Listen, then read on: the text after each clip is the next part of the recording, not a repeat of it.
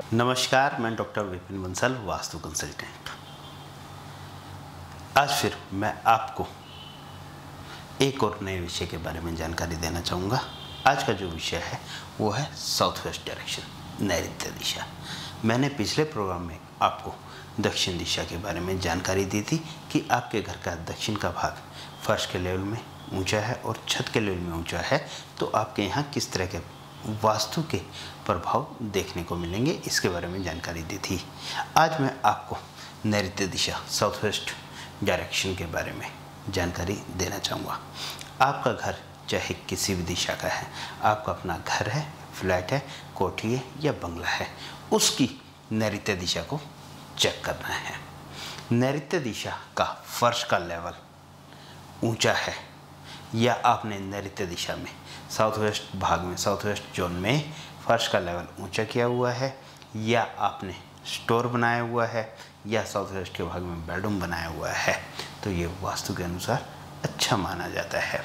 जब भी, जिस भी घर का साउथ वेस्ट का भाग सही होता है, यहाँ पर वास्तु दोष नहीं होता, उस घर में हमेशा ही आपसी संबंध अच्छे बने रहते हैं। धन दौलत भी भरपूर होती है। और जो घर के बच्चे हैं, जो बच्चे शादी के लायक है, उनकी शादी भी समय पर होती है और अच्छे परिवार में उनकी शादी होती है। इसलिए हमेशा ही साउथ वेस्ट का भाग सही होना चाहिए। साउथ वेस्ट के भाग में किसी भी रूप में वास्तु दोष नहीं होना चाहिए। आपने अपने घर के साउथ वेस्ट के भाग को, नैऋत्य दिशा को हमेशा ही फर्श के लेवल में ऊँचा रखना है। छत के ऊपर साउथ वेस्ट के भाग में अकेला कमरा साउथ वेस्ट के भाग में बनाते हैं तो इसका भी बेनिफिट आपको ज़रूर मिलता है। घर में, परिवार में सभी के संबंध अच्छे बने रहते हैं पति पत्नी के भी संबंध अच्छे होते हैं और इसी के साथ घर के अंदर धन दौलत भी बरकरार रहती है।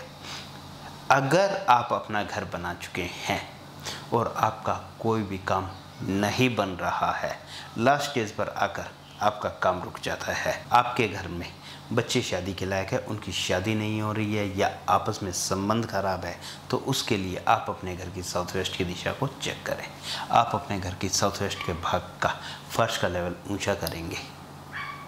या छत के लेवल में साउथ वेस्ट का भाग नीचा है और साउथ वेस्ट के भाग में एक कमरा बनाते हैं तो मेरा अपना ये मानना है कि आपके जो काम रुके हुए वो सारे काम बन जाएँगे।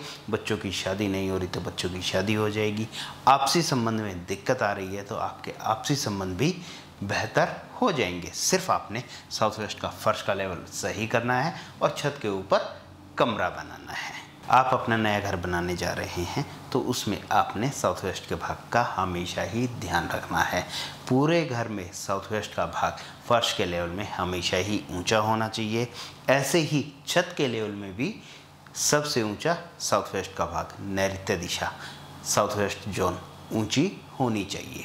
साउथ वेस्ट दिशा जब भी ऊँची होती है तो घर के अंदर सुरक्षा भी प्रदान करती है, आपसी संबंध भी अच्छे रखती है, परिवार में ठहराव भी बनाकर रखती है और जो घर के बड़े बुज़ुर्ग हैं, उनके स्वास्थ्य के लिए भी बहुत ही अच्छा रहता है। इसी के साथ मैं आपको एक खास बात और बताता हूँ।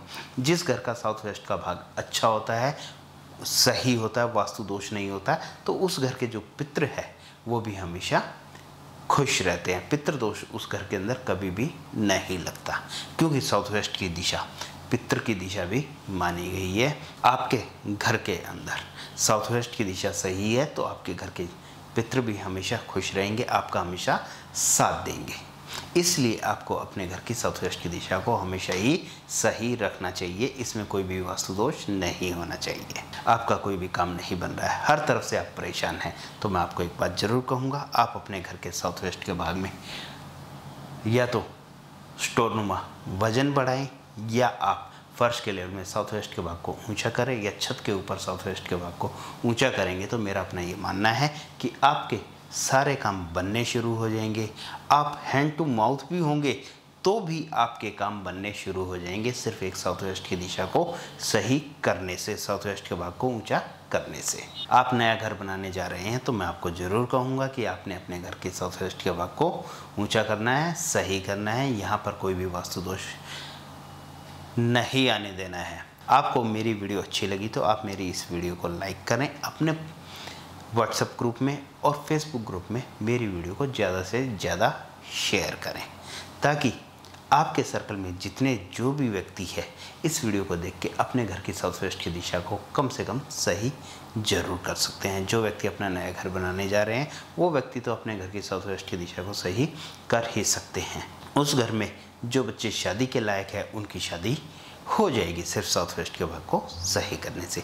इसलिए आप मेरी इस वीडियो को अपने सर्कल में ज़्यादा से ज़्यादा शेयर करें। आपने अभी तक मेरे चैनल को सब्सक्राइब नहीं किया है तो आप मेरे इस चैनल को सब्सक्राइब करें। आप ये चाहते हैं कि मेरे आने वाली सभी वीडियो आप तक ज़रूर पहुँचे, उसके लिए आप बेल आइकन ज़रूर दबाएँ। अगले प्रोग्राम में मैं आपको वेस्ट यानी पश्चिम दिशा के बारे में जानकारी देना चाहूँगा। तब तक के लिए नमस्कार।